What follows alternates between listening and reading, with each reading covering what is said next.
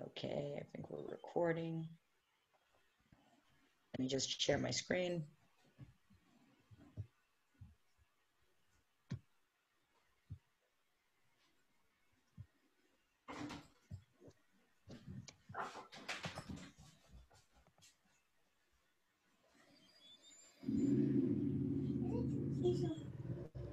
Okay.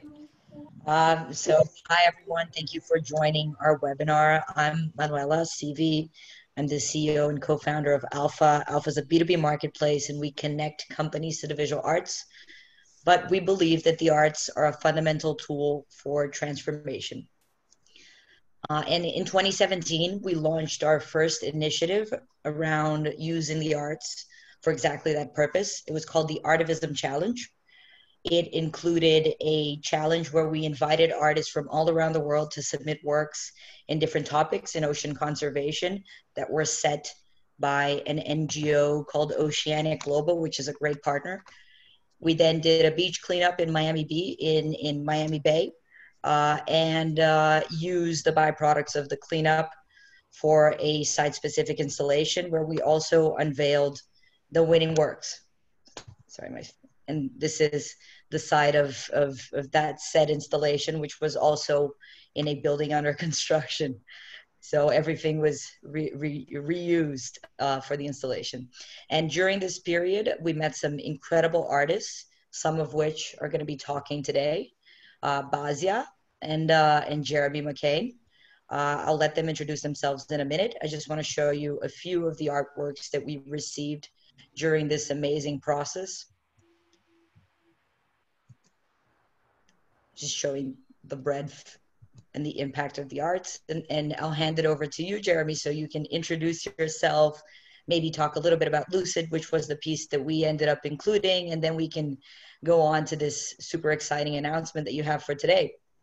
Yeah, thanks, Manuela. Thanks for having me on. It's um, I, am loving what you guys are doing. I think it's really great the way that you have found really amazing ways to support artists. And so, but I, I also, I also, you know, realize that you know being an artist uh, sometimes is, is, a very hard thing. And so my my my background is uh, I've got a background in tech, um, but I travel all over the place, and I've tried to do whatever I can to focus on the ocean and why we need to protect her. So, um, Lucid, as you mentioned, was a mind controlled art installation that was traveling um, after it was with you. Uh, I, I, got an offer from the G7 presidential summit uh, through the German ministry, and it was traveling uh, for three years to a number of different cities around the world.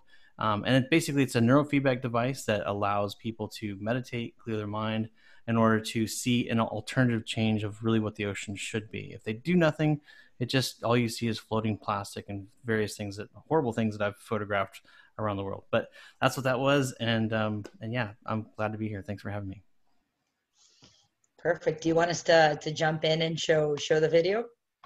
Yeah, we can we can do that. So um, yeah, what you're with the clip that you're about to see is this new art installation called Glitch, and I'll talk a little bit more about how we gather the data. But essentially, we are pulling um, pollution values, converting them to hex, and we're injecting them into one of my fine art pieces. And you get to watch. It's basically when it's when it's live, you'll actually get to see it slowly um, deteriorate and um, ruin the actual art piece. And it's directly related to the waterways that we're deploying drones in the ocean.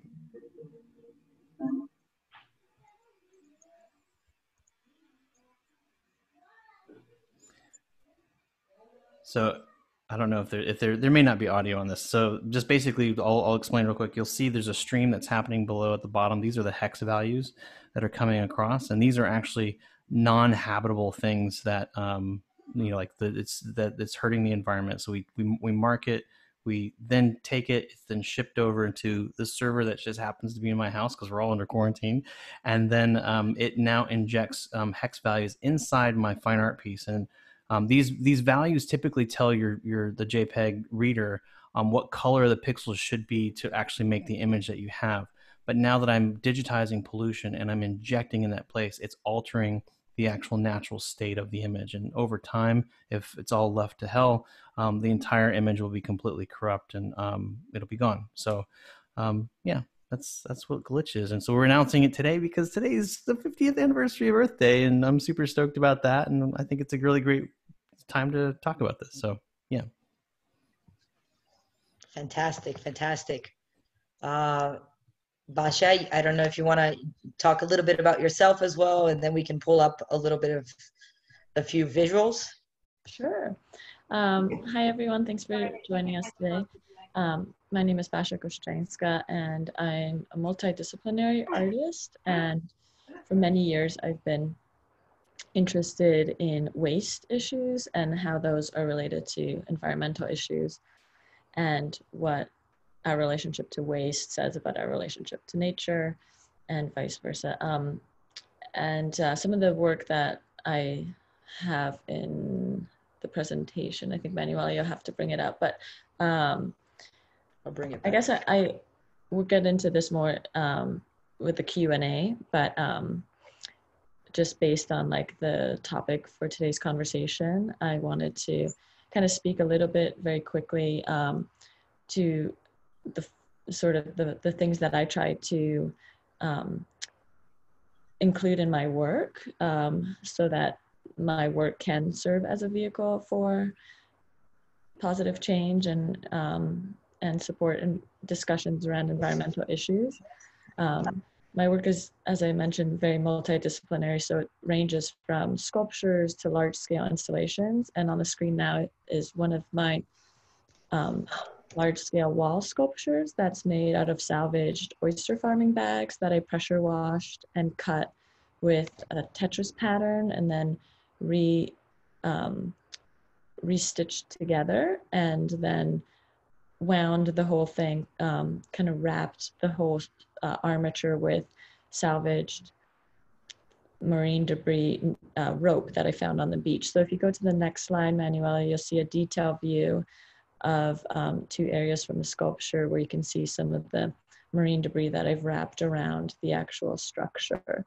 And so craft and handwork are very important in my work um, because I think that it's the best way to show like care and um, and sort of like support this idea of like healing or repair. And these are things I'm obviously interested in as an environmentalist. So a lot of my work, you'll notice there's a lot of craft work and handwork in it. Um, if you go to the next slide, um, you know, the, we were talking in an earlier discussion about beauty and sort of the uh, value or the role of beauty in art um, to inspire activism.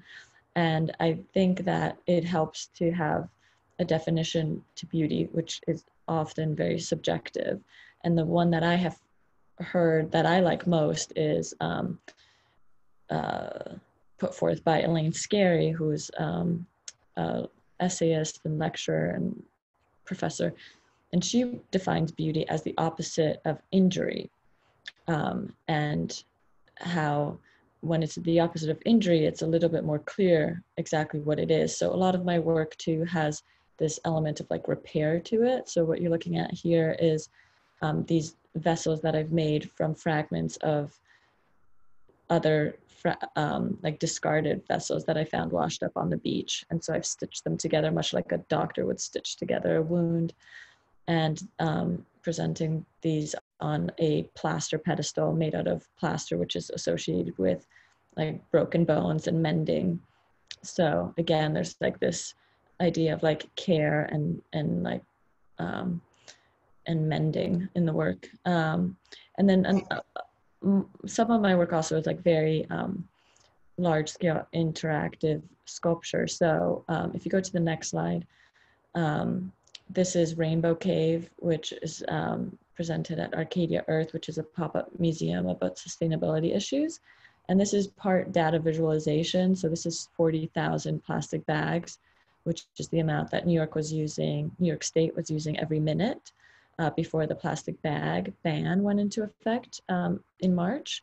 Um, and so this is a very sort of like immersive experience that hopefully fills people with awe and kind of gets people to maybe think about um, what that number is and what it means uh, for the environment. Um, and so that's another thing. So like beauty is one thing, but then also like this immersion is something else I try to use in my work to kind of really inspire people to like have these conversations or think about these things um, that I'm thinking about.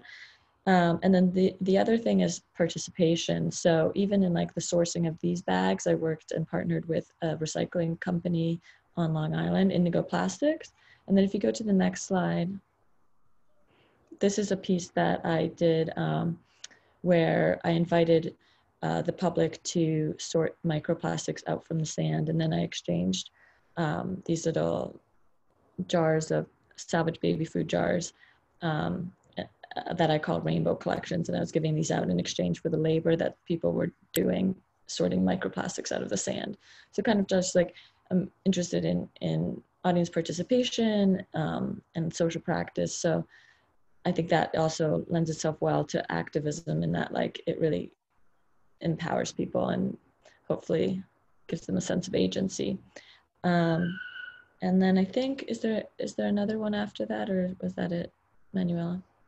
Oh, this I guess I wanted to speak to like when when going back to like the Rainbow Cave, um, just that I think it's really awesome that people are like being able to interact and immerse themselves in the work itself, but then also like what social media is doing um, for for the work. So I wanted to have the lights in the rainbow cave constantly vibrating so that every image was different. And so when people take a selfie, it they sort of like feel like it's their special selfie or it's different from every other selfie out there because the lights are changing so no two images are the same and so it kind of hopefully makes the experience a little bit more individual.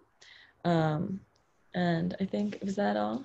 Yeah, I think that's all. We can go back to a few more in, yeah. in a minute. I think I'm just going to jump in to a first question. Uh, and I think we heard a lot more, you know, about craft work from you, Basia, and how, you know, the process is healing. I would love to hear from you, Jeremy, about you know how the role technology plays in your work, especially because it's it's such two different visions to attack the same problem that I think this it's extremely complementary.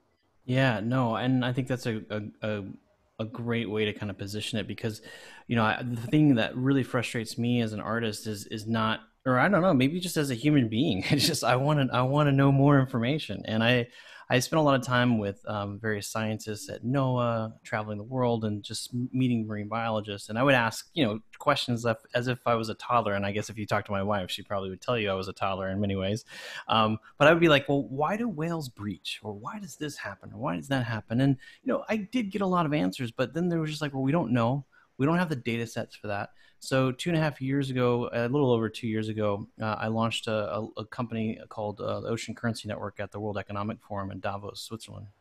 And um, the the idea was is that well, why don't we just fill the gaps? And you know, there's there is a reason why we need to have this kind of data. Um, Lord Kelvin said, um, if we were to improve something, we must first measure it. And so, um, if you're not measuring something, how do you know that there's going to be an issue? And then this was right around the time too where I started seeing that you know, gosh, there's there's uh, there's there's tons of bleaching that's happening in the in the Great Barrier Reef. There's dead zones in the oceans, and it's like a lot of times we look at these situations where there's too much plastic in the ocean, and we don't we look at it at the aftermath. We say, gosh, this is horrible. These animals have died, or whatever's happened, but we don't actually put a lot of um, uh, like focus on prevent, prevent, preventing something before they become a catastrophe. And so um, data plays a big role in that on the scientific side. But the other challenge is is that you know when scientists are doing these really amazing things, and by the way, some of the stuff in the papers that that they've produced around you know humpback whales as an example is pretty amazing stuff. Um, but on average, about six to ten people will actually read those papers, and a lot of times that those papers are used to get more funding for the for the for the science scientific uh, community. Um, I was actually brought in a long time ago with NOAA as an artist to come take that same story, what they were doing, and then actually push forward um, with those guys. And so that that that is a way for me to get the scientific community and the work that they're doing out to the public. And so, um, you know, I think by creating art and using data, putting those two things together, it gives us a way to kind of visualize things and um, you mentioned uh, you mentioned um, Lucid. That was the first uh, installation that um, you and I worked on, and that we, that you showed at uh, Art Basel. And you know that was an idea of getting people to think differently. But how do you tell someone to think differently? And so I always think that doing something visually is really important. So um, by kind of marrying those two kind of technical, uh, it, it is it is a bit um, mundane when you're trying to put all these things together, and then you find that you're like, you know, you'll get you'll get stopped by some routine and some programming that's like why i'm spending all my time on this one little problem when i have like this whole message that i'm trying to work on. Sometimes you feel like gosh i think i'm wasting time. But when it all does come together it people do have another understanding or a, a realization of, of of really what that impact is. And that's that's the thing that i kind of want and i know that's the theme for today is like how do we how do we use art for impact? And um, a lot of times uh, we sometimes even with environmental art we just kind of just rub salt in the wound and say look how bad this is. Isn't that awful? But i think that we can use art to even extend beyond and say you know what? It is bad but here are some potential ways that we can make a difference. And um, you know i don't know what all those ways are but i'm sure trying my best to try to figure that out. Fantastic fantastic and i think that kind of like leads uh, a little bit more to to exactly that question, which I think I'm going to ask to you, Basia, because Jeremy told us a little bit more. What do you think as art as a means to draw attention to environmental issues? Uh, which issues is your work mainly focused on? How do you explore them in your creative practice? Mm-hmm. Um, well, I definitely am drawn to the plastic pollution and waste issues. I think particularly because I was first just drawn to the material itself and what it as a material says about our current moment. And I think one thing that art can do really well is represent and um, not even represent, but like take note of or um, create a historical document of what our moment is and also allow us to see a little bit more about our moment or like understand it a little more or, or see it in a different way. So i feel that you know something like trash you know people see it all the time every day you know 10 times a day. And so how do i take it and maybe present it in a different way so people consider it differently? And so that's like the challenge for me always is um, how do you make something discarded precious and and how do you spark these conversations that i'm interested in? And the conversations honestly for me as an artist um, are just that. They're really like open-ended. I'm very much like jeremy said like i'm always asking questions like these partnerships i have with recyclers um, they're really fascinating because i'm learning so much about all the challenges that um, the recycling and waste industry faces that I had no idea about really. Um, and it's really made me more sensitive to just how challenging the problem is and you know how complex the solutions need to be. Um, so yeah, that's does that answer the question? It does. It does. And I have a follow on question, which actually works for the two of you. So maybe we start with you, Basia, since we're already in the topic. How does your art practice invite its audience to develop awareness, ask questions, and imagine solutions? Mm-hmm. Um, well, definitely like through the participation of, of um, the audience. I think it does that um, with the Legacy Oasis, which was that beach oasis filled with microplastics a lot of um, the participants who came through weren't even aware about the microplastic issue.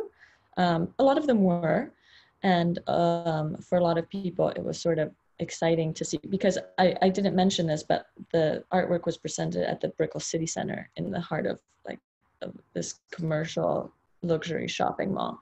So it was like really also um, an interesting context for the work, um, and I think through like really participation in the work, um, people are able to sort of feel like they have a role to play in the making or the experiencing of the artwork. So I try to engage people that way, um, if at all possible, or through even like the sourcing of uh, my materials. So some of the work that's a little bit more sculptural or craft based, object oriented, um, I still rely heavily on other people for like sourcing my materials. So with the oyster farming bags, I've partnered with um, an oyster farmer who has nothing to do with these, who has nothing to do with these old bags except put them in the trash.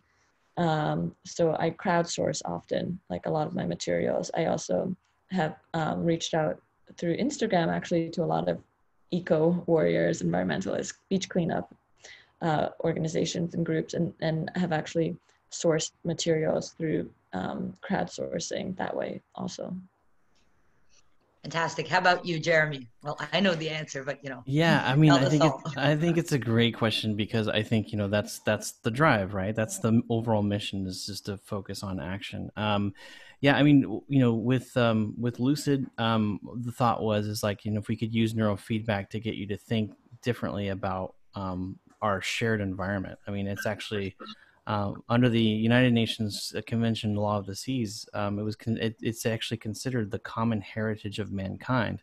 Um, so it's all of ours, and it's all of ours responsibility. Um, but sometimes we are not even aware. In fact, actually, um, when we were in Brussels, um, we had uh, we we the Lucid was actually right in front of the Parliament building, and I got a call from the curator and said, "Hey, you know, all of the members of Parliament have actually come through," and somebody made a comment that you know that uh, they didn't realize that the plastic problem was what it was, and um, they they had a they had a, a I guess a proposed ban on single use plastics uh, to end, and the, it never made the floor. It just kept getting pushed off because there was other things, and um, you know there's thousands of people that worked on this particular piece of legislation, but this one individual said, you know, I think we should definitely make sure that we at least talk about it. About six months later, um, it did, and it, I'm not saying that it was because of the art installation that we got this we got this uh, in legislation, but um, you know we're all saying the same things, and we have a united voice, and that helps. But the United, uh, the European Union uh, decided to ban single-use plastics, with the exception of bottles. But come on, we got to give them a break, right? Um, by 2021 so that was really exciting and and so that that kind of thing leads to action um, in glitch's uh, scenario i really wanted to kind of up the ante a little bit because I wanted to have something that was measurable that that that the average person could make impact. Because I'm always like, I get the question. I'm, I'm Basia. I'm sure you get the question as well. And it's like, okay, well, what's what's the one thing that I can do? And that's like nails on the chalkboard to me because it's like there's no real way to answer that question. Um, you know, somebody said to me the other day, uh, this well, one of the ways that you can actually do it is is you know change your 401k because a lot of times your 401ks are invested in fossil fuels and some of these other kinds of things, which is actually a good good answer.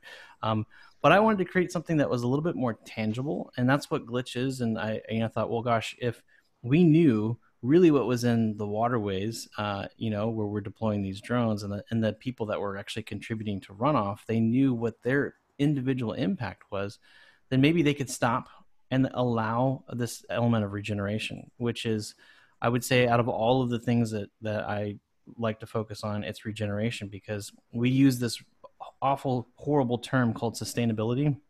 I don't know if you realize this or not, but uh, we're in a crisis. We, there's no reason why we should ever re- uh, sustain a crisis.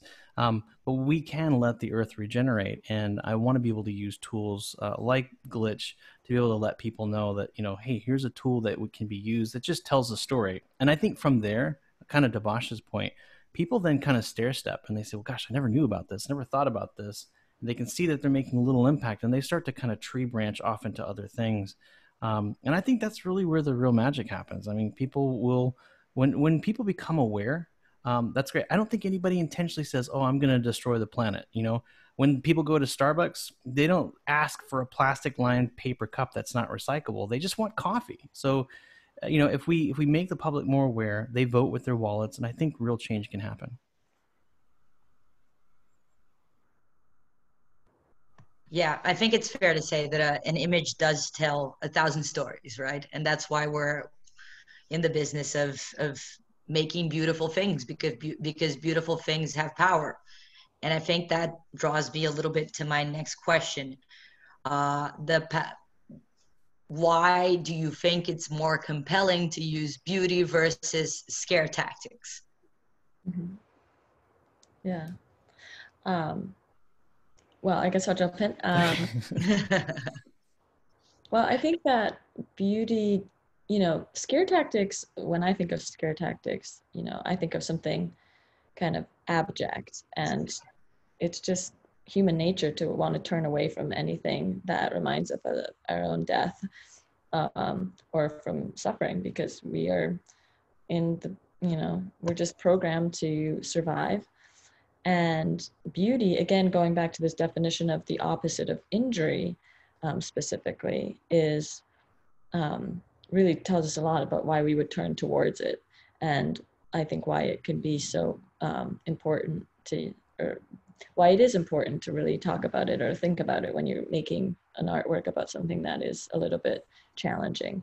Um, I think it really does open up the senses in a way that engenders empathy in a way that um, something that is a little bit like a scare tactic or something that's abject won't do. So um, definitely I've um, I've been of the mindset that I can absolutely use beauty. It doesn't, it's a little bit ironic um, to use beauty because, you know, like for example, I'm, I'm speaking of about plastic pollution in the ocean and I'm making, you know, a beautiful sculpture. So it is a little bit ironic, but I've sort of come to embrace that as part of my campy aesthetic or my eco camp aesthetic. Um, and I just kind of like push it a little bit to and I think if you're self-aware about what you're trying to do, I think it's it's absolutely legitimate to use it as a tool. Yeah, no, I mean, I think you know, there's no better time to to use a, a Jacques Cousteau quote than on the 50th anniversary of Earth Day. But you know, Jacques Cousteau said that people protect what they love, and they love what they understand, and they understand what they are taught. And I think that you know, using beauty is a way of actually doing that. I mean, we we often um, we see scare tactics and i do think it's important. I do think that we need to know what those risks are. But i do think that you know we are going to motivate people when they fall in love with something. And um, you're not going to fall in love with a pile of trash in, in the corner. Um, but all of these things at one point had beauty. And i think that's where artists come into play because we are the storytellers and we're the ones that can shift that perspective and hopes to create a greater action. Fantastic. So I have one last question, and then we're going to open up for questions. So please feel free to type in, wave your hand, etc. We'll mm-hmm. we'll get to your questions after this one, uh, and it's for the two of you. So maybe we can start with uh, with Jeremy, since you were already speaking. How has the current crisis impacted your practice? Yeah, great question. Um, which I think like everybody else is thinking about this as well. And it's like when it first happened. And so, I mean, I have I had lots of like speaking engagements. I had exhibitions planned, um, and so I was like, wow, man, 2020 is going to be such a great year. Um, I I hosted uh, our second annual um, Ultramarine Ocean Action Summit uh, that I founded, uh, co-founded with Susie Mai on Necker Island with Sir Richard Branson. Um, and then right after that event, everything came to a screeching halt. Um, and uh, you know i started thinking to myself like well how the heck am i gonna create in my house when i'm an ocean guy? And how am i gonna exhibit when i can't go anywhere? And so um it really for i would say probably a good two weeks. I mean just full transparency. I know like there's a lot of influencers on social media they're like oh it's a time to reflect and you can be stronger and sharper. You know like no dude i was super down in the dumps because i'm thinking i have no idea i didn't expect this. I had everything was pulled out from underneath me and i'm trying to figure out well how the heck do i survive? And so um, glitch was literally born out of this uh, this mindset of like i still need to get this this work out there. I need to be able to, to find ways to, to use robots if i if i have to to be able to kind of create a story that still creates impact. And so um, I would say, you know, just like with any adversity, it it it, it creates, uh, you know, it creates something of, of, a, of a challenge. I mean, I mean, some of the most beautiful jewelry are pearls, and pearls are created through adversity. And so I feel like, you know, in some ways, uh, you know, glitch uh, could be the pearl of the COVID crisis for me. Who knows? That remains to be seen. But um, look, I, it's not the end of the world, and I think that as long as we are all honest and open with each other, and, and, we work together as artists and storytellers, I think really amazing collaborations and great things can happen. And I think I'm, I think we're already seeing that happen. Yeah, awesome. I mean, I definitely um, hear you and feel you, and on the crisis um, mode that you experienced, Jeremy. I absolutely experienced the same in a similar boat with everything being canceled. Um, obviously, my work is very based in materials and installation and sculpture. So, um, to be totally honest, I'm really not sure what's going to come of all this for me yet. I'm still processing and um, I'm trying to figure that out. But I, I can say that it's given me so much to think about um, as far as our relationship to to nature in general and how nature really is um, a very hard place too right? And it has and it has viruses that are out to get us. And so how do we find that harmony or balance between innovation and technology and the things that we can um, we can gain from those like vaccines or you know or like the um, emergency protective equipment that is now littered all over the street but is also saving lives. And sort of like the other side of it which is that we do need to protect our ecosystems and um, we do need to preserve these vast land, uh, like areas of land and, and ocean um, so that our grandchildren have a, a good a good life. And so it's it's really just given me a lot of um, things to to think about and um, and I'm sure that some work will come from it um, and time will tell what that looks like. It might look very different than my previous work. Um, in a way i'm fortunate because i do have still access to my studio where i work alone. And so i've been just quarantining in my in my studio but i have been able to make smaller scale uh, works that i've been wanting to make for a long time but just didn't really have the time um, for before this all happened. So um, yeah work in progress. Hopefully it's an opportunity for us to create some two-dimensional works on alpha because we never found a way to work together before because you know we've always been more focused on uh, 2d right. So it's it's an expansion for everyone and it's what we're seeing all over the the art market. We're seeing you know just people adapting trying to adapt. The museums are in in in crisis mode everywhere trying mm-hmm. to figure out how they're going to you know connect virtually. They don't have tech departments you know mm-hmm. or anything of the sort. So it's it's it's a time for for productivity but it's a time for for great challenges and we have to you know understand that we're in a crisis. Uh okay so let's jump right into the questions. I think renata has a question. I'm going to unmute you and you can ask your question. I think maybe you have to unmute yourself. Hey guys. so I just wanted to know uh, about those projects that you said you've been working on and that had to be on hold now, uh, or maybe like projects that you're not working yet, but you'd like to create in the future. Um, once the crisis is over, what is something that you'd like to create and share with the world?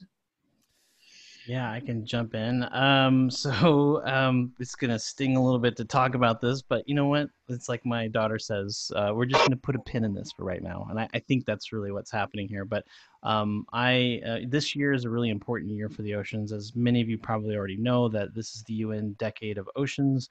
Um, uh, SDG 14 is life below water, and um, the mission and the goal is to protect 30% of the world's ocean by 2030. And so this year, um, uh, the overall collective body is meeting in October to vote on protecting what amounts to 2% of the world's uh, ocean in Antarctica.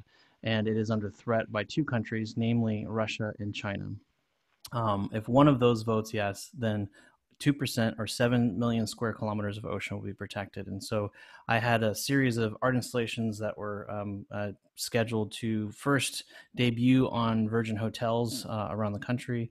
Um, I do. I also do very large scale um, digital projections, and um, so had a whole team, like a rock star team, that was helping me. Some of the folks that were that were working with me actually even worked on some of the racing extinction uh, projections uh, in New York City and um, as you can imagine, there's a lot of planning. There's a lot of resources that go into such a massive um, uh, programming. Um, and then there was some stuff in New York that we were going to do, and and uh, and we were starting to plan in uh, Paris because um, the goal is, of you know, we, we were hoping that maybe we can get uh, France to kind of lean on Russia a little bit for this, and I think.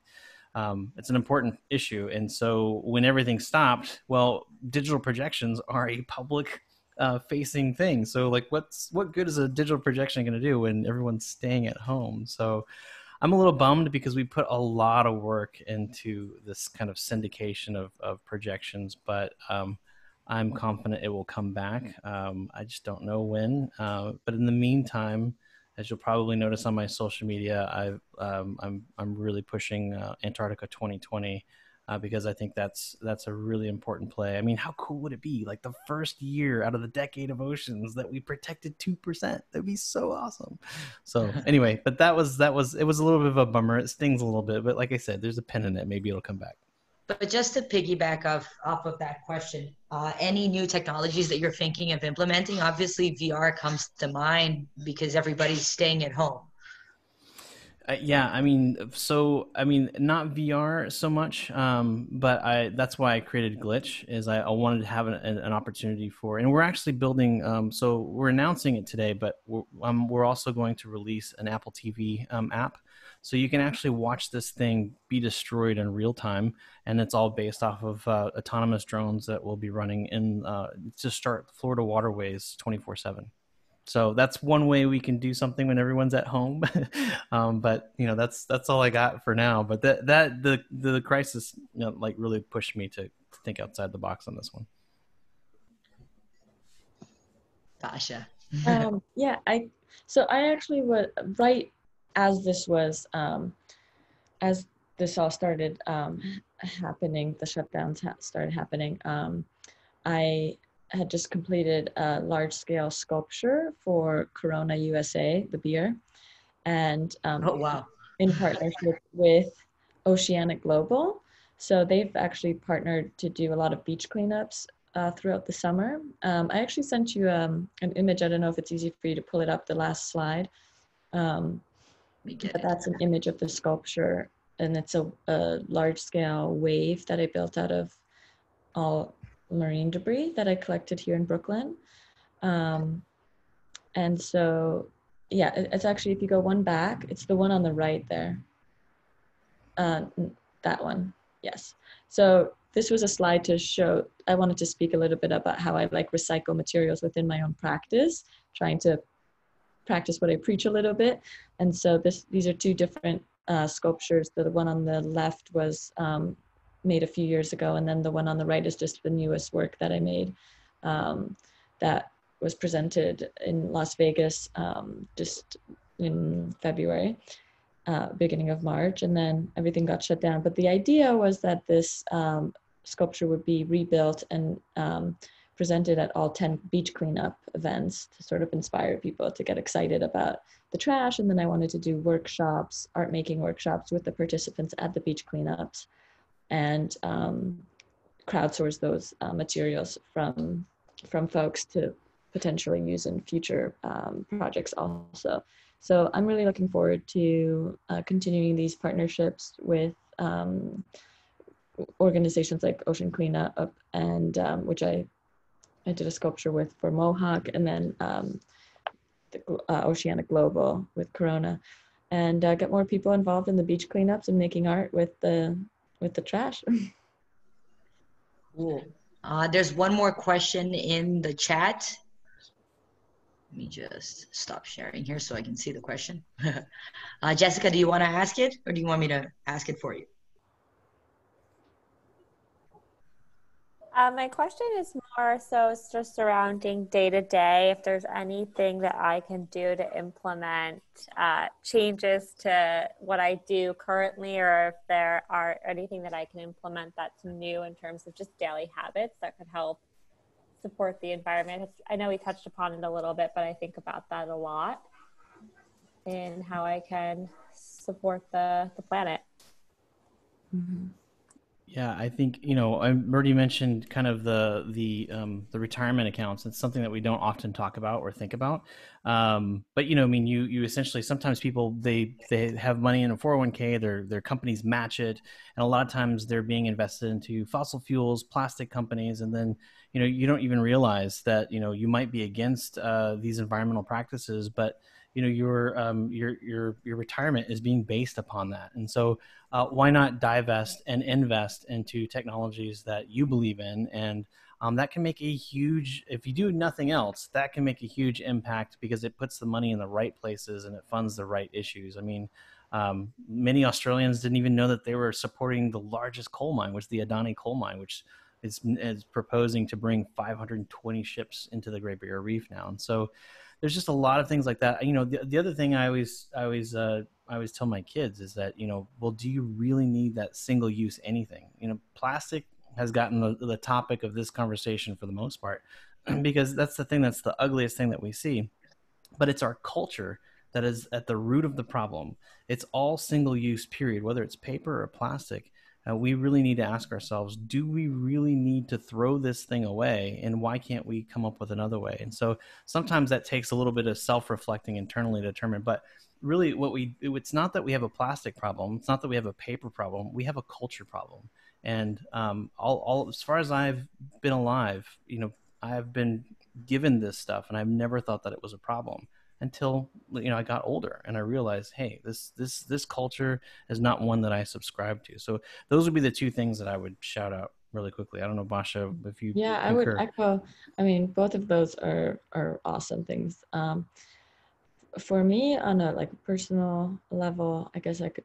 Um, I just I've, I've come to realize that often, like the eco-friendly thing takes a lot longer and cost a lot more. And I just try to still choose the eco-friendly alternative every chance I get. Um, when it comes even to my own work, like making something from a salvaged piece of trash off the beach often just takes a lot longer because you have to clean it, you have to sort it, um, or like patching something, um, mending something before buying something new um, those are just things that I really try to focus on is like prolonging the life, reducing the amount of new things I'm buying, and really investing my time and my energy and my money into things that are really, you know, a little bit better than the status quo.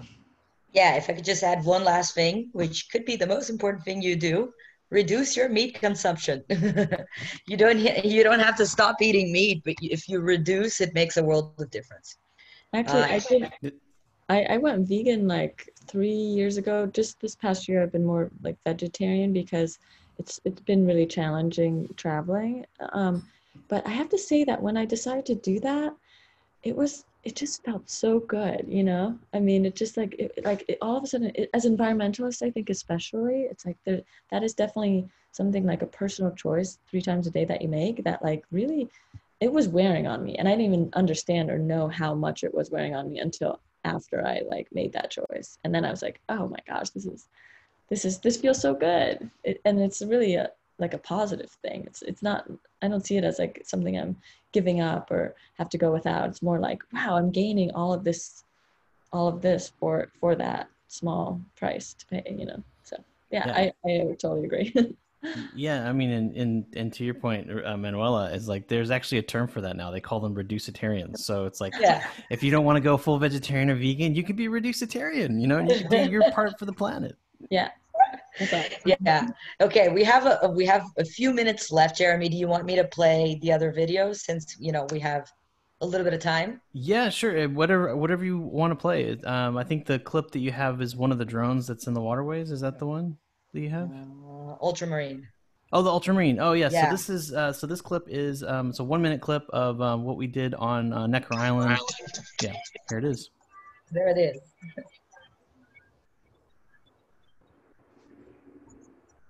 I don't hear any audio though.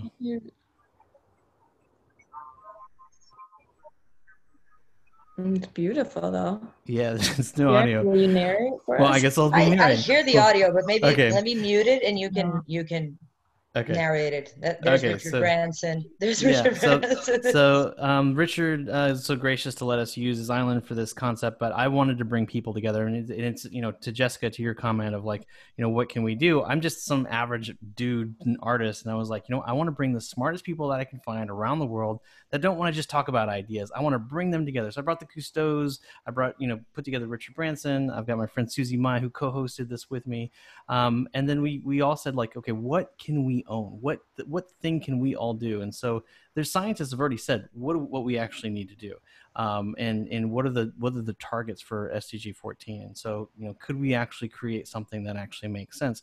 Um, and so um, this year, uh, what I did is I, I brought the first lady of Palau. She did this really cool thing.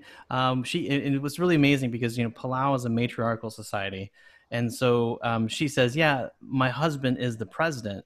But in our society, when things don't go right, the women come to the forefront. So the Palau Pledge was created by four women, and uh, Debbie, uh, the first lady, was the one who created it. And essentially, what it is is it's a stamp in your passport when you come to their country. They stamp your passport and they say, you know, I promise not to take anything that's not given to me. And it's just this beautiful poem that the children of Palau wrote. You sign it. If you do not sign it, you don't enter the country. It's a requirement.